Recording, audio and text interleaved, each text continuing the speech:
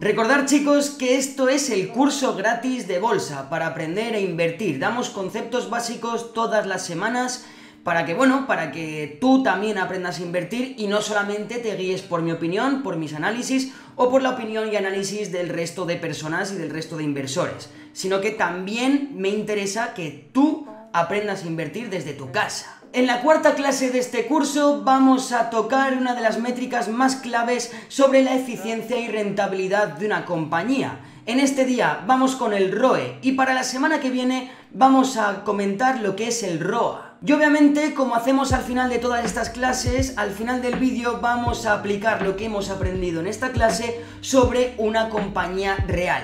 Una compañía que todos conocemos. Así que dicho esto, vamos para allá.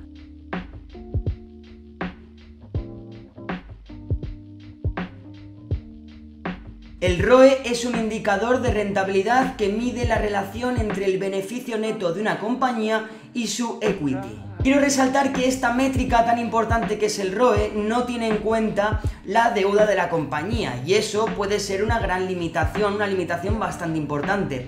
Pero a pesar de eso, el ROE es una cosa que hay que tener en cuenta 100% a la hora de invertir en una compañía. Su cálculo es extremadamente rápido. Dividimos su beneficio neto entre su equity y el resultado lo multiplicamos por 100 para obtener su porcentaje. Este ratio determina el rendimiento del capital de la compañía, es decir, mide la rentabilidad de la empresa en base a su equity. A la hora de analizar una compañía es extremadamente importante tener en cuenta esta métrica, el ROE, porque lo que nos está dando, lo que nos está dando a ver es la rentabilidad que puede generar a sus accionistas. Y nosotros como inversores somos accionistas. Otra forma de interpretar el ROE es interpretarlo a modo de eficiencia de una compañía, es decir, a mayor ROE, mayor rentabilidad a futuro. Como veis, el ROE es algo bastante simple, es algo realmente simple de comprender. Así que dicho esto, vamos para allá a finalizar la clase con el ejemplo real, con un ejemplo de coger una empresa que todos conocemos y vamos a ver su ROE. Así que chicos, vamos para allá con Microsoft. Vamos a calcular el ROE de Microsoft y para calcularlo tenemos que partir del informe anual del año pasado vemos que sus beneficios netos son de 39 billones de dólares y su equity son de 102 billones de dólares, todo esto redondeando obviamente.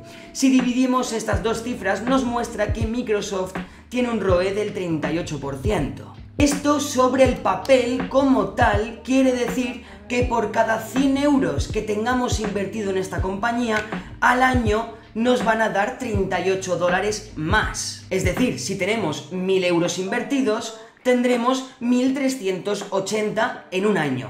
Repito, esto es sobre el papel, solamente teniendo en cuenta el ROE, pero ya sabéis que a la hora de analizar una empresa y a la hora de las fluctuaciones del mercado, esto puede subir mucho, puede bajar mucho, etcétera, etcétera. Así que sinceramente os recomiendo utilizar el ROE como un indicador bastante importante, como un indicador de que es una buena señal para invertir en, este, en esta compañía o no es una buena señal. Pero tampoco os guiéis por el ROE al 100%, en el aspecto de un ROE 50%, eso quiere decir que me va a generar 50 euros nuevos por cada 100 euros que meta. No os guiéis tanto por eso, ¿vale? Eso es básicamente algo simbólico, algo a tener en cuenta de que la compañía en este caso va realmente bien. A mayor ROE significa que la gestión de esta compañía y su proyección a futuro es muy buena. Y un ROE del 38%, sinceramente, es un ROE muy apetitoso. Así que chicos, dicho esto, por aquí terminamos la cuarta clase del curso gratuito para aprender a invertir en bolsa. Espero que os haya gustado. Recordar que para la semana que viene vamos a ver el ROA y para esta semana tendremos otro vídeo de analizando alguna que otra compañía. Nos vemos chicos.